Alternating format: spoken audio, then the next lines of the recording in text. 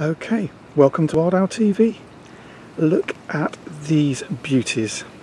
Now we've looked these moths up and we think they are red underwing moths and they are stunning and as you can see there's two there plus some other uh, species as well but these moths are, um, are on the fruit feeders and this is what the fruit feeder has attracted and it is just an absolute joy to once again do something that is attracting wildlife.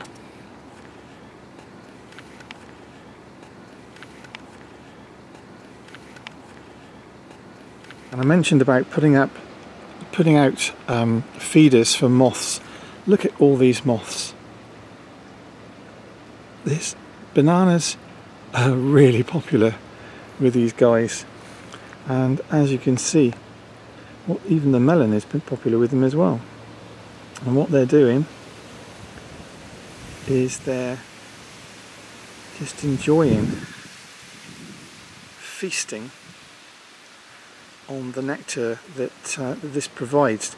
Now that um, red underwing that we've just seen, um, there was two of them in fact just now. Just see if we can find them again because when that species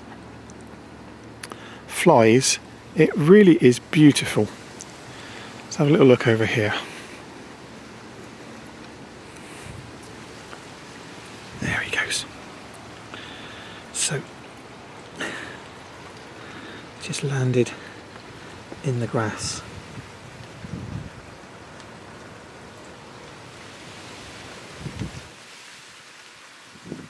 It really is amazing what you can find in the garden at night. So this is this moth just down on the grass and it's got its wings closed at the moment but once it opens its wings it reveals this beautiful red and black with white border underneath. There's just so much to see in a wildlife garden. Look at how that eye is reflecting in the light of the camera. Because of course these creatures have got night vision, they've got special eyes to see in the dark. And this moth actually landed on me earlier on. Let's see if we can uh, get a slightly different view for you. Now it is actually a large moth. All I want to do, I just put my hand down towards the moth. Let me just uh, give you a clue as to how large this moth is. In fact, it might even go on my hand. Here you go. Nope. But by chance, it went onto my onto my uh, hood of my uh, my camera now. But they it is actually um, they they were landing on me just now. Um, that was a, a, gamble, but they are beautiful. So we got any other varieties, any other species here?